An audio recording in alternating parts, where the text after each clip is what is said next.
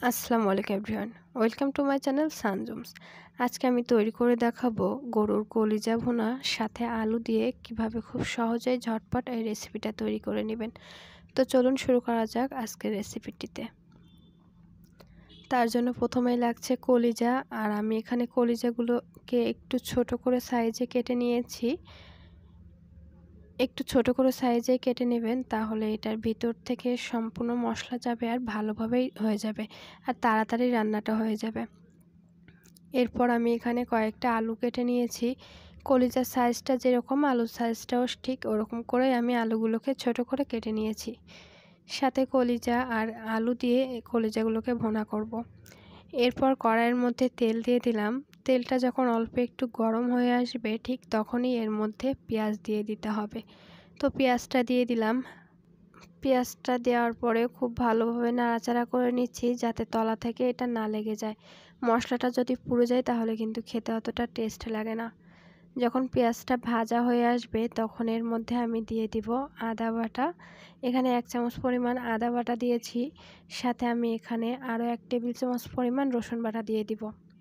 দিয়ে মশলাটার সাথে খুব ভালোভাবে অল্প একটু মিশিয়ে নিলাম।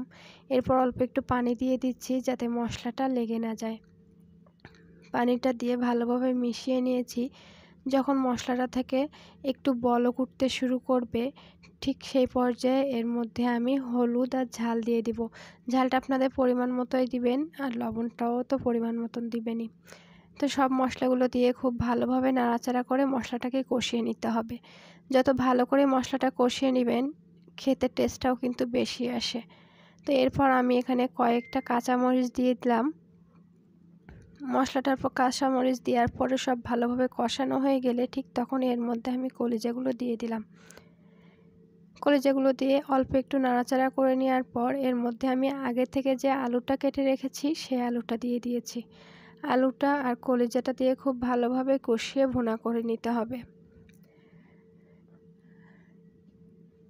চুলার জালটা আমি মিডিয়ামে রেখেছিলাম। চুলার জালটা মিডিয়ামে রেখে এটাকে ভালো করে কষিয়ে নেবেন যাতে ভালোভাবে এটা মশলার সাথে মিশে যায়।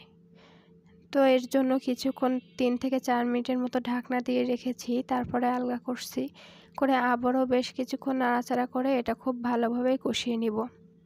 তরকারিটা কড়াইয়ের সাথে লেগে যাবে না, ঠিক তার আগ মুহূর্ত পর্যন্ত এটাকে খুব ভালোভাবে কষিয়ে নিতে হবে। তো বেশ কিছুক্ষণ পর কষানোর পর দেখতে ঠিক এরকম টাইপের হয়েছে আর তেলটা কিন্তু উপরে ভেসে উঠেছিল। এই পর্যায়ে আমি পানি দিয়ে দিলাম, হাফ কাপ পরিমাণ। তো পানিটা দিয়ে একটুখানি নাড়াচাড়া করে এটা ঢাকনা দিয়ে ঢেকে দিব আলু আর কলিজাটা সিদ্ধ হওয়া পর্যন্ত। দেখতে পাচ্ছেন এটার কালারটা কিন্তু বেশ সুন্দর দেখা যাচ্ছে এখনই। এবার আমি এখানে ঢাকনা দিয়ে ঢেকে দিব চার থেকে পাঁচ মিনিটের মতো। অর্থাৎ যতক্ষণ না এই পর্যন্ত পানিটা এটা শুকিয়ে যায়। কিছুক্ষণ পর ঢাকনাটা আলগা করলাম, করে একটুখানি নাড়াচাড়া দিয়ে দিচ্ছি নিচে থেকে ওপর পর্যন্ত, যাতে খুব ভালোভাবে এটা মিশে যায়। আবারও এটাকে ঢাকনা দিয়ে ঢেকে দিতে হবে ঠিক একই রকমভাবে যতক্ষণ না এই পানিটা শুকিয়ে যায়। তো পানিটা শুকিয়ে যাওয়ার পর আবারও কিন্তু একটু কষিয়ে নিব।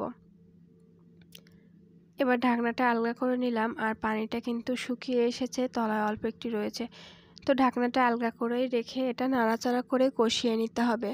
খুব ভালোভাবেই কষিয়ে নিতে হবে এটা।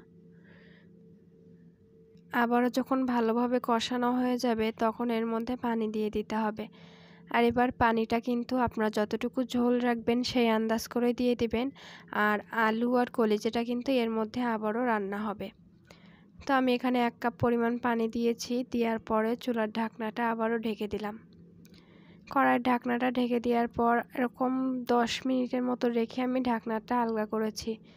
এরপর নাড়াচাড়া করে যেটুকু পানি রয়েছে সম্পূর্ণটা আমি ঢাকনাটা আলগা করে রান্না করে ফেলব আর ঝোল আরও কমিয়ে ফেলব।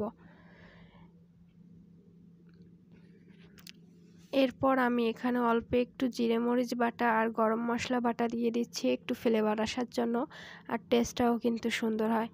দেখতে পাচ্ছেন কতটুকু করে দিয়েছি। হাফ চামচেরও অনেক কম করে দিয়েছি। এই পর্যায়ে চুলার উপরে মিডিয়াম আছে, বেশ কিছুক্ষণ রেখে দিয়ে আমি ঝোলটা কমিয়ে ফেলব। আমি মশলাটা দেওয়ার পর আবারও একবার নাড়াচাড়া করে নিলাম। আর এখানে দেখতে পাচ্ছেন, এটা কিন্তু সিদ্ধ হয়ে গিয়েছে, তো আমার এটা নামানোর জন্য এখন পুরোপুরি রেডি। আমি একটু অসুস্থ থাকায় ভিডিওটা খুব ভালোভাবে করতে পারলাম না, ভয়েসটাও হয়তো কেমন হয়েছে সেটা আপনার ক্ষমা সুন্দর দৃষ্টিতেই দেখবেন। এরপর আমি এটা পাত্রে নামিয়ে ফেললাম। দেখতে কত সুন্দর হয়েছে দেখতেই পাচ্ছেন। আর ভিডিওটি ভালো লাগলে অবশ্যই লাইক করে চ্যানেলটা সাবস্ক্রাইব করে দিবেন। সাথে আমার ফেসবুক পেজটাও ফলো করে দিতে পারেন আপনার বন্ধুদের সাথে শেয়ার করে।